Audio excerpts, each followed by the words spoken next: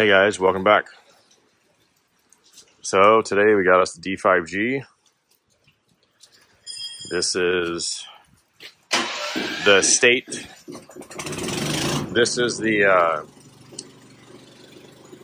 condition that it's in. Currently, the customer customer either did this or the, I think he had uh, another company start on it, and they ran out of time or something like that. So we get to change out uh, the tensioners, the track springs, all of the rollers on the bottom. Looks like they already did the sprockets.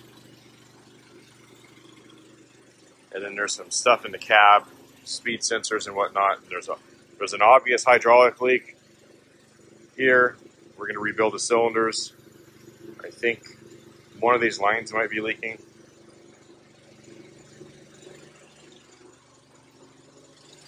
It's like they put a new cutting edge on already.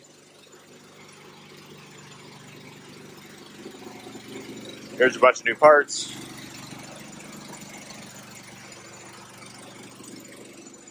So we're gonna, the correct way to take the tensioner off is to, with the track on, wedge something in the track to tighten it.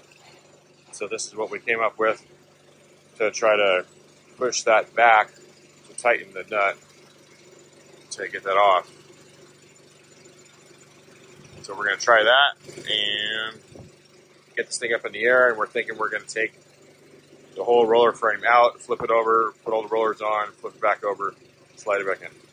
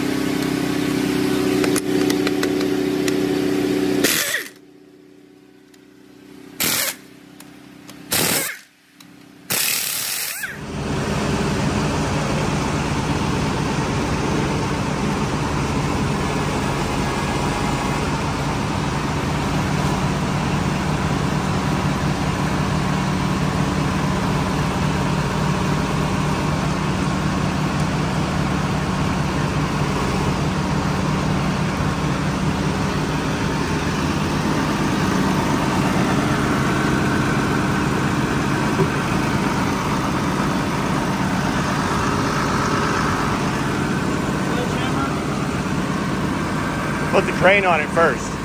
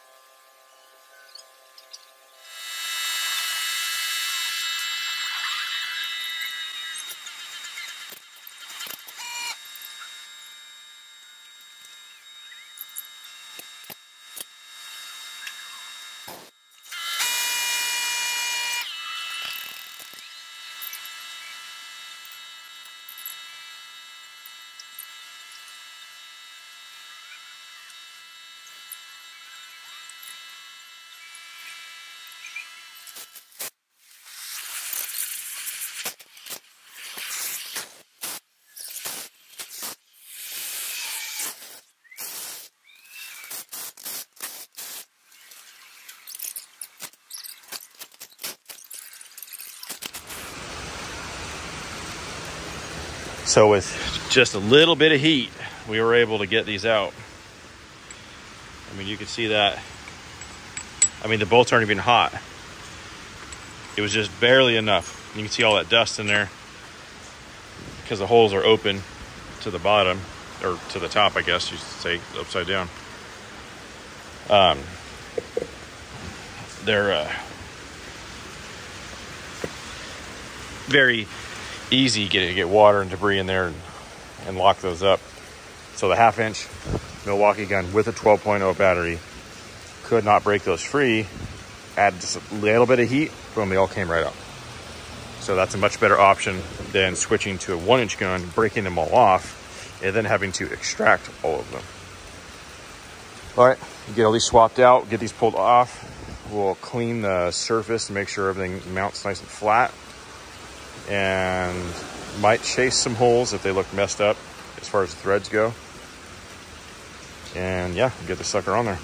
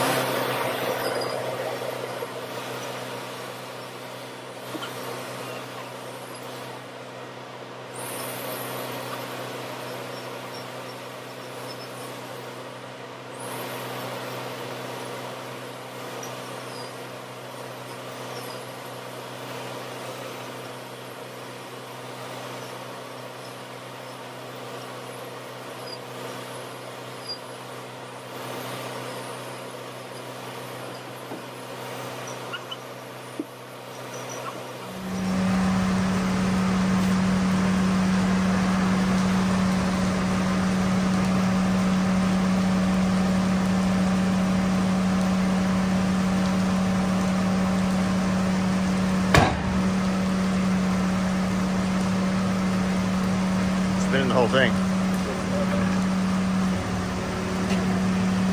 Just leave it, yeah.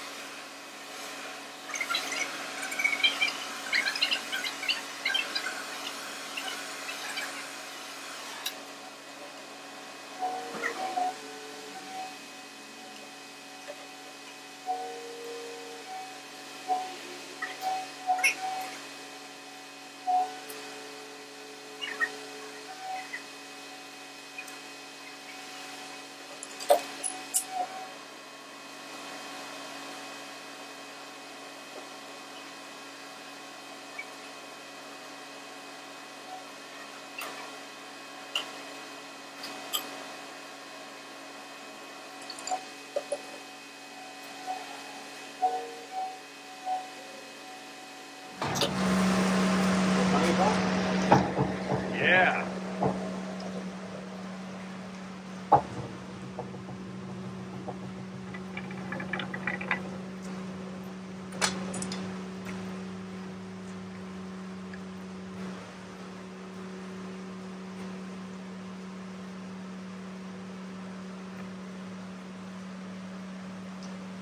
Try it by hand or? no. When it stops stuttering, Yeah, it's it's, it's shaking shaking pretty good. Yeah, keep your finger out of that hole. Yeah.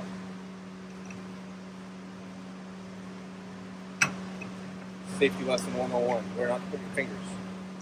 It's not pinch points.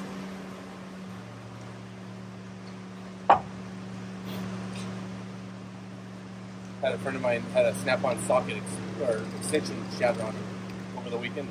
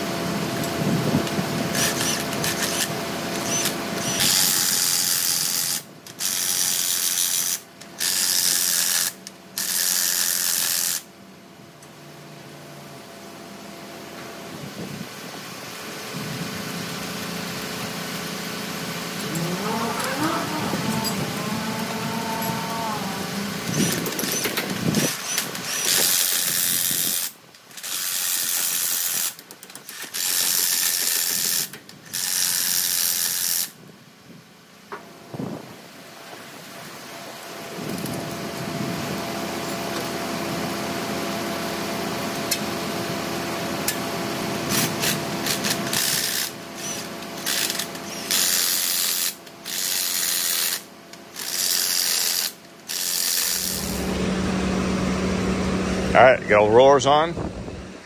All the brand new bolts, Loctite. They're all tight. Now we're gonna flip it back over. And as soon as Matt is done rebuilding the cylinder, then we can uh, lift the machine up, get the jack stand out of there, and get this back under there.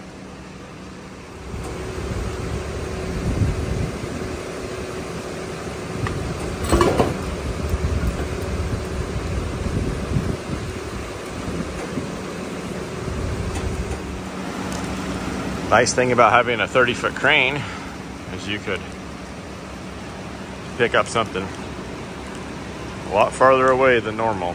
That 10 feet makes a big difference compared to a 20 foot crane.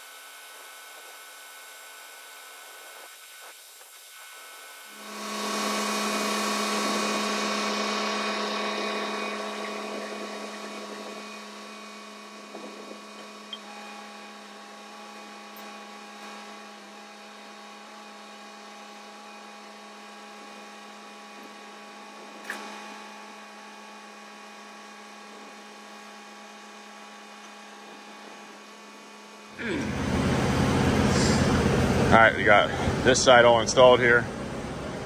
Now there's this cover right here that covers all this. And you got this little access hole to get to the tensioner. Well, a bunch of these are broken off.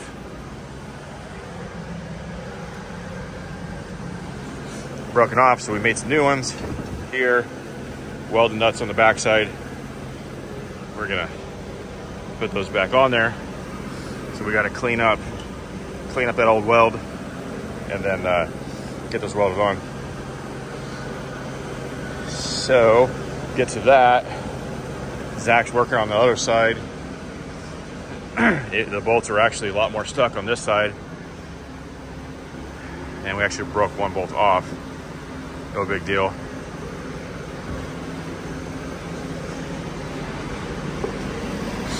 But it's coming along pretty good here. And then uh, this cylinder got rebuilt yesterday when we're gonna do the other, Matt's gonna come do the other side here in a little bit. And then probably after today, we'll be waiting on parts.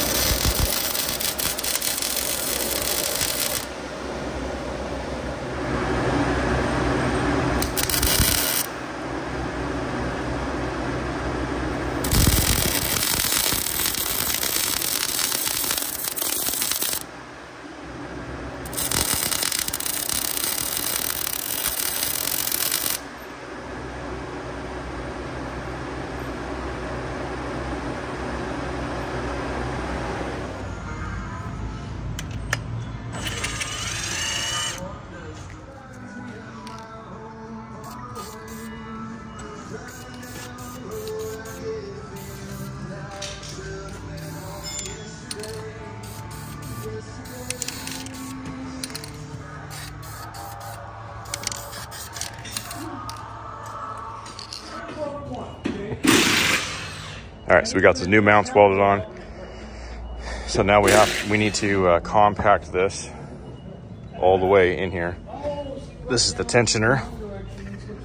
So basically, for those of you that don't know how this works, this is kind of like a hydro hydraulic cylinder right here, and you have this grease fitting.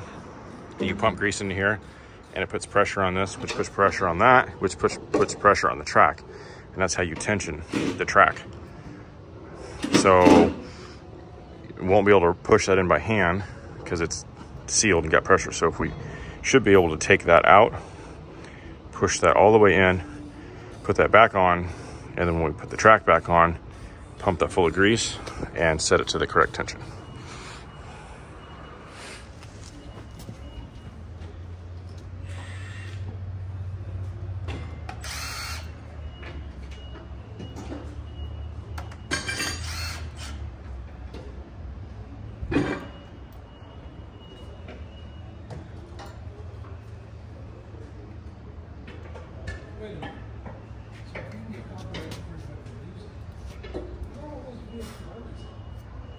What? Harley's, because you know Harley Davidson actually copyrighted the sound that the Harley engine makes. Really? Yeah, you didn't know that? No. Yes, the the sound of the Harley Davidson V twin specifically has been copyrighted by Harley Davidson.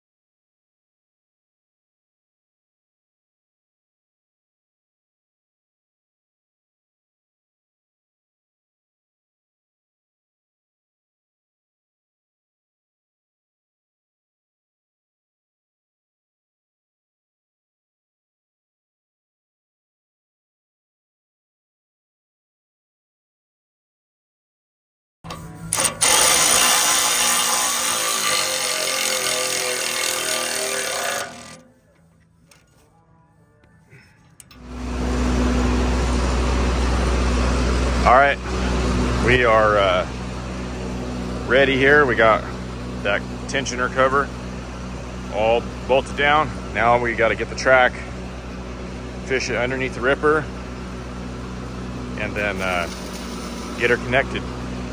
So let's see how smoothly that goes.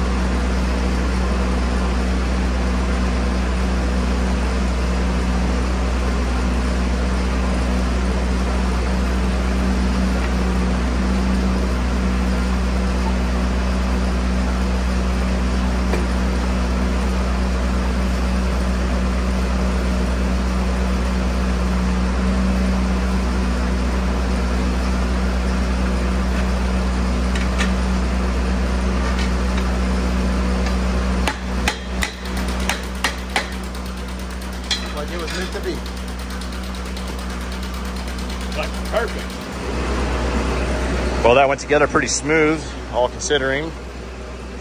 So, for those of you that don't know, this is called a master link, which enables you to separate the tracks. Now, if you didn't have a master link, you'd have to use a special made press and you would have to press these pins out. And usually it requires, you know, a 100 ton press. It's basically like a giant C clamp and it just presses those out. Surprisingly enough, that's the one tool that I do not have yet. So luckily, this one has a master link. Basically, basically the the shoe sits on there, and then the bolts bolt through it, hold everything together.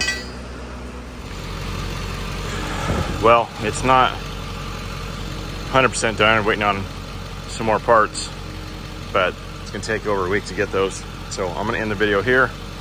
So that's kind of little little undercarriage work on a D5. Hope you guys enjoy all this mechanical stuff I've been getting into. It's nice to do that while it's raining so you don't have to weld in the rain. So definitely be more of that coming up. And thank you for watching. Stay tuned for the next one.